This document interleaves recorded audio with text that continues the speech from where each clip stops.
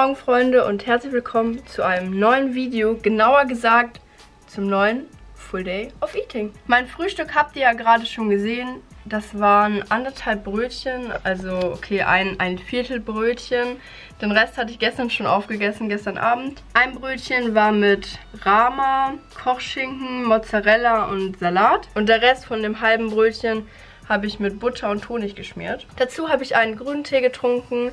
In meinen grünen Tee, also wenn ich grünen Tee morgens trinke, mache ich immer ein bisschen Vitamin C rein. Erstmal, weil dann habe ich ein bisschen Vitamin C zu mir genommen. Und es schmeckt auch einfach besser, finde ich. Also, ja, okay, nicht besser, aber es schmeckt auch sehr gut. Jetzt fahre ich auf jeden Fall erstmal zum Gym. Dann trainiere ich Beine. Heute ist meine schwere Einheit. Und ich bin gespannt, wie es wird. Und ich würde sagen, wir sehen uns später wieder. Doch noch nicht so viel später. Ich habe es gerade erstmal ins Auto geschafft. Aber ich wollte einfach mal jetzt schon mal am Anfang des Videos, wo die meisten von euch noch wirklich zuschauen. Man weiß immer nie so, wie lange gucken die Leute überhaupt. Nur die wenigen gucken bis zum Ende. Und ich wollte einfach Danke sagen für über 3000 Abonnenten mittlerweile. Und auch danke für eure heftige Aktivität, dass ihr immer so fleißig unter meine Videos kommentiert. Das bedeutet mir wirklich viel. Es macht total Spaß, sich diese ganzen Kommentare durchzulesen. Und ich antworte natürlich auch bei jedem Kommentar. Aber jetzt fahre ich wirklich ins Training. Wir sind jetzt bei Subway, also Christina und ich, weil ich hatte irgendwie mega Bock auf Subway, schon seit heute Morgen. Und Christina hat auch Hunger, das passte sehr gut. Christina hat immer Hunger.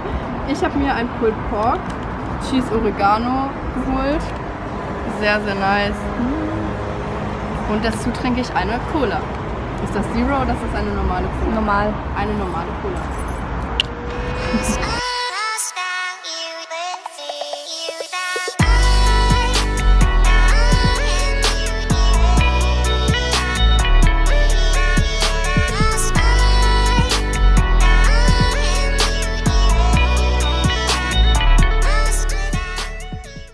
jetzt zu Hause angekommen und ich bin echt richtig gut gesättigt durch dieses Sub. Ich habe ja ein ganzes gegessen und ein Cookie.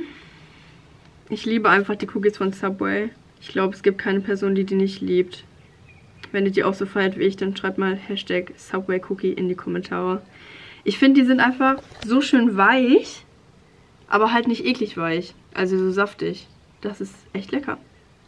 Ich dusche gleich auf jeden Fall erstmal weil ich bin ganz schön lange, eigentlich jetzt schon mittlerweile in meinen verschwitzten Sachen. Und nach dem Beintraining ist das eigentlich nicht so cool, finde ich. Man fühlt sich dann nicht so wohl, deswegen dusche ich erstmal. Und dann muss ich noch was für die Uni machen. Es ist schon mega spät, es ist schon halb sechs oder so. Aber ich muss so eine Mappe fertig machen das dauert irgendwie voll lange. Ich habe zwar schon angefangen, aber das ist irgendwie sehr, sehr aufwendig für das Fach Didaktik. Und ist irgendwie nicht so simpel, also mir fällt das nicht so leicht. Aber diese Mappe muss ich nur bestehen, also ich kriege dafür keine Note, deswegen gebe ich mein Bestes und schreibe irgendwas hin. So sieht es auf jeden Fall gerade bei mir aus. Das Wetter heute ist mega, mega schön, aber leider laut Wetter-App soll es die nächsten Tage hier wieder regnen. Was ich auch nicht so schlimm finde, aber dieses Wetter gefällt mir deutlich besser. Aber Christina und ich haben uns ja eben auch nach draußen gesetzt. Das war auf jeden Fall eine echt gute Idee, war mega angenehm. Ich habe jetzt geduscht und jetzt werde ich ein paar Bilder bearbeiten und meine Didaktikmappe fertig machen, weil morgen habe ich Didaktik und dann kann ich nochmal ein paar Fragen stellen und in der Stunde auch noch weiter daran arbeiten. Aber was ich euch eigentlich erzählen wollte, die liebe Lena hat mir vorhin geschrieben, dass sie meine Spotify-Playlist gefunden hat und sie cool findet. Und falls ihr auch Interesse habt, euch die reinzuziehen oder die irgendwie zu benutzen, zu hören, was auch immer, dann könnt ihr das gerne machen. Ich versuche auf jeden Fall, euch den Link davon in die Beschreibung zu packen. Ich weiß nicht, ob das geht bei Spotify, habe ich noch nie gemacht. Muss ich mal schauen. Wenn ich es hinbekomme, dann ist der Link jetzt auf jeden Fall in der Beschreibung.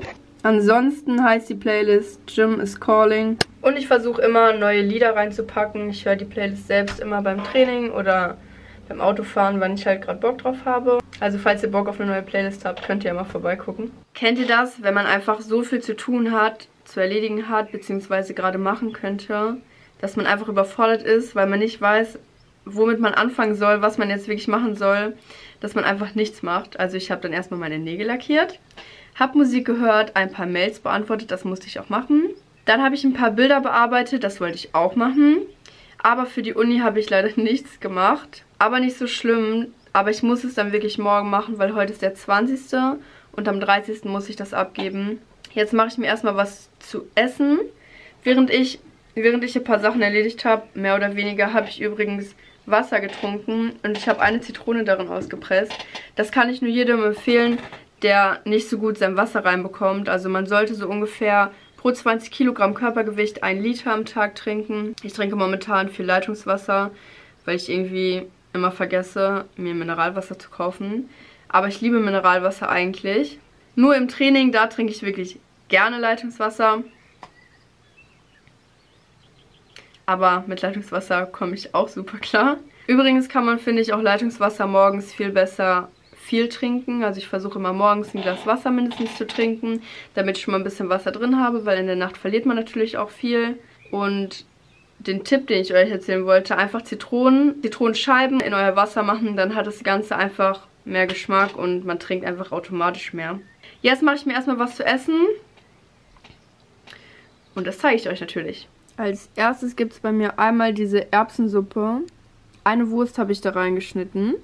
Sieht vielleicht echt nicht so appetitlich aus, aber ich liebe die einfach. Das ist die aus dem Aldi. Als Erbsen-Eintopf wird die da verkauft. Ich mache immer noch ein bisschen Wasser dazu, damit es ein bisschen flüssiger wird. Und ich liebe die einfach, weil meine Oma und mein Opa haben mir die damals immer gemacht. Ich habe das einfach geliebt. Es gab immer eine Wurst da drin, ein Brötchen dazu, ein frisches vom Bäcker. Und dann war es perfekt. Brötchen habe ich leider gerade nicht. Und nebenbei ist mir mal aufgefallen, also ich habe nie so drauf geachtet. Ich esse das auch nicht so oft. Aber die hat eigentlich sehr heftige Macros, also Makronährstoffe. Für die, die nicht wissen, was das ist, Makronährstoffe sind das, woraus die Lebensmittel bestehen, also aus Eiweiß, Proteine und Fette. Also die größte Unterteilung, die man eigentlich machen kann. Und diese Suppe, beziehungsweise Eintopf, hat einfach auf der Hälfte der Menge, also 400 Gramm sind das, glaube ich, 20 Gramm Eiweiß. Also echt nicht schlecht. Und Ballaststoffe sind auch ordentlich drin wegen den Erbsen.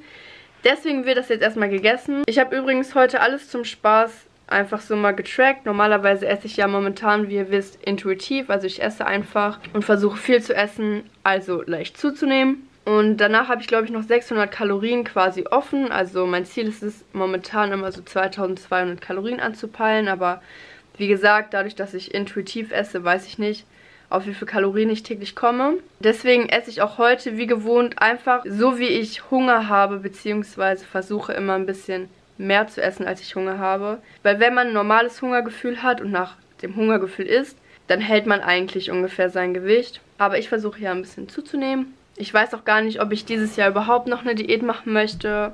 Ihr werdet es auf jeden Fall erfahren. Und ich esse jetzt erstmal, bevor es kalt wird.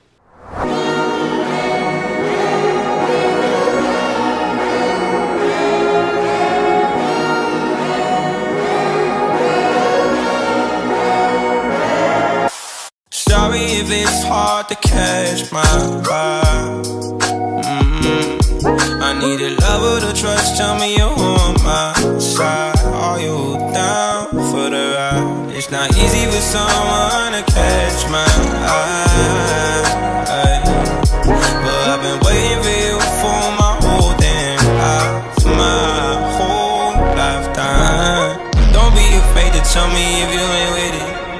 Normalerweise mache ich momentan immer einen Cookie oder zwei in meinen Quark rein, aber ich hatte keine mehr. Aber dafür habe ich diese Neo-Kekse gefunden. Die sind echt lecker. Davon mache ich jetzt einfach noch ein paar rein und dann wird es gegessen. Underneath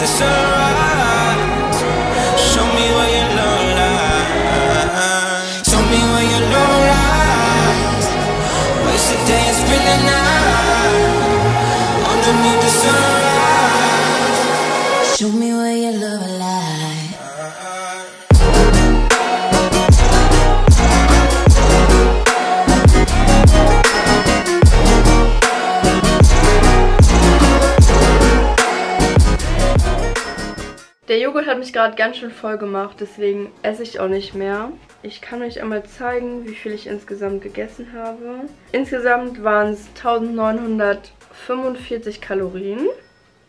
Und hier seht ihr einmal, wie viel Eiweiß, Kohlenhydrate und Fett ich gegessen habe.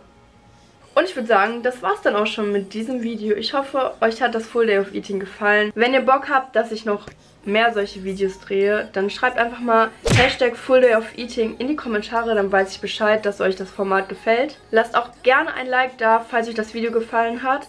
Gerne ein Abo und ich würde sagen, wir sehen uns beim nächsten Video. They can call me whatever they want, call me crazy You can call me whatever you want, but that won't change me